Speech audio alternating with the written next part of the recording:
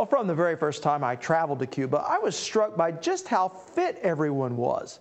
After the fall of the Soviet Union, Cuba's communist controlled government had a hard time feeding folks. Today, though, you can find farmers markets that carry some of the best looking fruits and vegetables I've ever seen.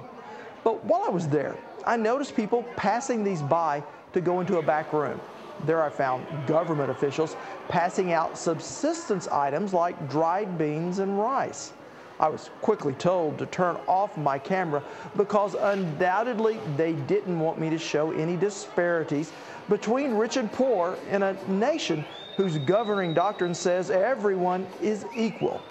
Now, one area I did notice in Cuba that seemed extremely equal is with exercise. In Havana's town square, you can find children playing organized games by the government. And right next to them, a group of elderly doing their own age appropriate exercises. Now, I'm not trying to convince anyone that Cuba is some sort of workers' paradise, but I do know they sure fit in their jeans better than we do here in the U.S. I'm Rob McClendon. Thanks for watching. See you next time.